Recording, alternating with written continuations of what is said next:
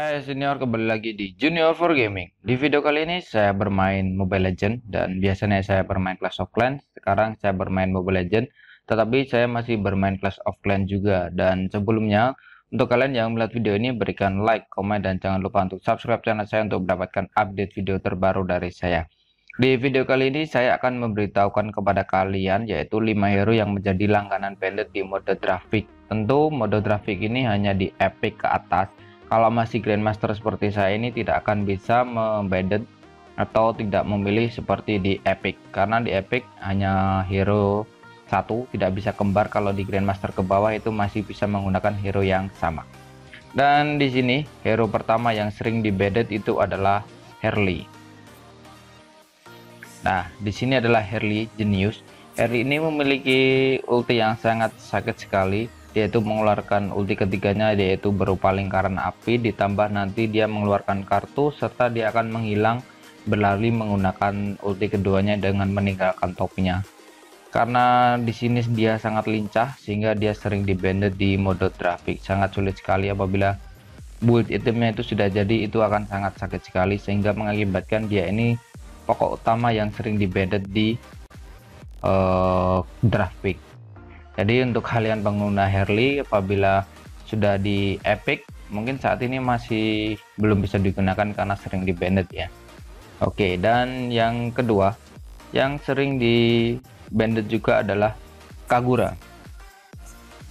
Hero mage cantik ini adalah memiliki efek ability yang sangat lumayan dan kesulitan karena dia itu ulti ketiganya itu sangat merepotkan sekali. Dia itu bisa mengeluarkan payung dan bercabang mengakibatkan slow yaitu memperlambat gerakan musuh sehingga itu sangat repot sekali apabila sudah pertempuran geng ya. Dia itu datang dari belakang mengeluarkan payung dan ulti ketiga itu akan membuat slow motion dan lumayan akan berkurang dan sangat merepotkan sekali sehingga teman-teman dari Kagura itu akan mudah mengalahkan dari musuh-musuhnya. Sehingga Kagura ini lumayan meskipun tidak terlalu sering di band tetapi itu juga sangat merepotkan sekali. Oke. okay?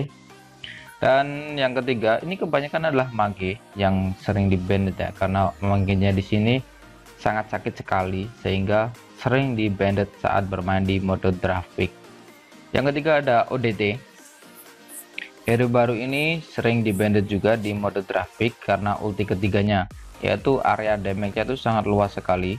Dia sangat sakit sekali apabila sudah bootnya jadi dan ulti pertamanya dia udah bisa mengeluarkan jurus bangau dan yang kedua itu memper menghentikan gerakan di tempat meskipun lawan masih bisa menyerang ataupun gimana. Dan yang ketiga di sini adalah dia mengeluarkan lingkaran seperti uh, dia tuh menombak ke atas dan mengeluarkan ultinya itu sangat sakit sekali apabila punya ini sudah jadi. Sehingga ODT ini juga sangat sering dibeda di draft pick. Jika kalian suka dengan ODT hero baru ini kalian pasti tidak akan bisa menggunakan di atas. Oke okay. dan yang keempat adalah ini ada Cyclops entah kenapa Cyclops ini sekarang menjadi sakit sekali.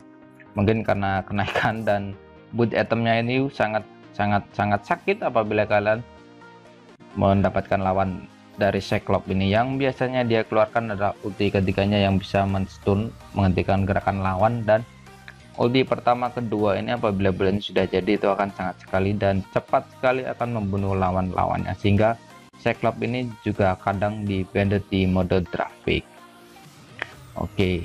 dan yang kelima itu ada mungkin kalau kelima ini menurut saya adalah Chow. Chow ini juga sangat merepotkan seperti Kagura ya. Apabila Chow ini menggunakan build itemnya itu tank sehingga dia itu sangat sulit di kalahkan karena dia skill ulti ketiganya itu dia mampu mengeluarkan jurus kungfunya dan membuat repot lawannya. Dan di sini sangat sulit sehingga terkadang juga cowok ini uh, sering dibeda di mode traffic tentu kalian yang suka menggunakan cowok pasti akan bermain di menggunakan cowok ini. Apabila di traffic akan sangat berpikir entah kenapa bisa di dan mungkin ini ya juga saya sering bermain. So ini juga sering di banded saat di mode traffic. Mungkin itulah 5 hero yang suka sering di banded di Mobile Legend mode draft tentu apabila kalian memiliki hero-hero yang wajib di banded saat mode traffic silahkan kalian komen di bawah. Dan jika kalian memiliki uh, pertanyaan ataupun tentang Mobile Legends silahkan juga di komen di bawah. Terima kasih kepada kalian yang sudah menonton video ini itulah tadi 5 hero yang menjadi langganan banded di mode traffic Mobile Legends oke? Sampai jumpa di video selanjutnya. Jangan lupa klik like share subscribe channel saya untuk mendapatkan update video terbaru dari saya.